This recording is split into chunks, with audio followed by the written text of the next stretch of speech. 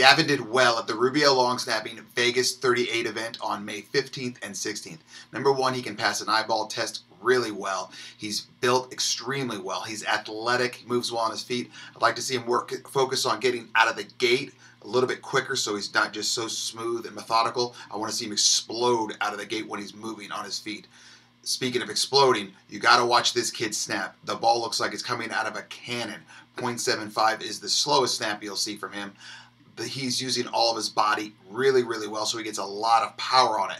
I want to make sure that Gavin focuses on reaching all the way back with his fingertips. If he can hit the same release point every single time with his fingertips, he's going to really increase his overall accuracy, get the ball into the Rubio zone, which is the lowest rib to mid thigh, armpit to armpit, and then he's really, really locks down his spiral because his ball is coming back with so much power. Seriously, you need to watch him snap that if it has any sort of wobble on it at all, it's going to have an issue coming back to the punter. They're going to complain about it.